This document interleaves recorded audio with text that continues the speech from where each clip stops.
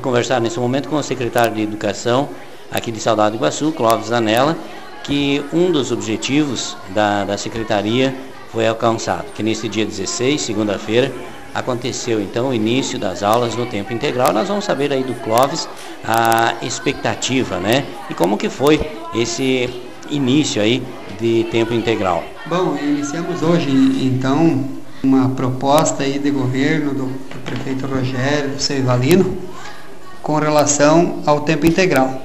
Então, eu acredito que uma, uma coisa tão esperada, tanto por parte dos alunos como por parte dos pais, e nós também, na Secretaria de Educação, muito ansioso para iniciar o tempo integral aqui em Saudade. Para deixar os pais mais tranquilos, as oficinas que não serão feitas ali no barracão o pessoal pode conferir o vídeo. É, tem os ônibus com as crianças que serão deslocadas até os locais da oficina e muito importante, né? Todas as crianças sentadas. Exato. Nós temos como a nossa estrutura, o povo nosso conhece, nós não temos tanto espaço físico assim. A gente tem um barracão que a gente locou que vai ter oficinas de artes, oficina de dança, de coral, mas a gente está ocupando outros espaços que é do município também, por exemplo, o vestiário antigo do campo, onde está tendo aula de flauta e violão. Né? Na área de esporte, nós estamos fazendo uma parceria aí também, já em contato com as associações é, de, eh, de, futebol atléticas aqui de Saudade e também vão disponibilizar para nós provavelmente os campos de suíço, nós temos os campos de areia e eh, temos o ginásio de esporte. Então são várias atividades na área esportiva que também a gente está fazendo parcerias aí para conseguir que todas essas crianças tenham várias atividades durante o dia e com certeza isso aí vai ser um sucesso.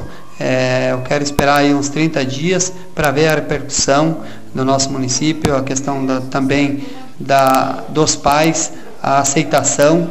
Tivemos também hoje, o primeiro dia, né, o almoço na escola, que né, a gente estava tão preocupado, correu tudo bem, as crianças gostaram do almoço, um cardápio bem elaborado pela nossa nutricionista, que vem, porque tem crianças que às vezes não em casa não se alimenta muito bem, a gente está trabalhando desde a questão da alimentação, que as crianças têm que se alimentar direito, né, porque elas vão ter várias atividades durante a tarde, vai ter o lanche da tarde também, então nós temos toda a equipe da cozinha empenhada, os professores que, que vão estar com essas crianças durante o almoço. Nós temos três professoras que vão acompanham durante o almoço até eles terminarem de almoçar e fazer a higienização bucal e depois eles vão para o baracão.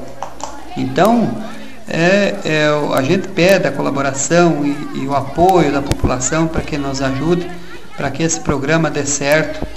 É, eu acredito que vai ser um sucesso Afinal de contas, o município tem investido tanto na área educacional e esse é mais um projeto, mais uma proposta de governo do prefeito, do prefeito em exercício, seu Ivalino e o Rogério, né? E eu acredito que nós vamos ter a aprovação da, da nossa comunidade. Muito bem, você ouviu então a entrevista de Clóvis Anela com o repórter Vomar Miranda falando sobre o tempo integral e com informações para a Programação Santiago, o repórter Éder Tairone.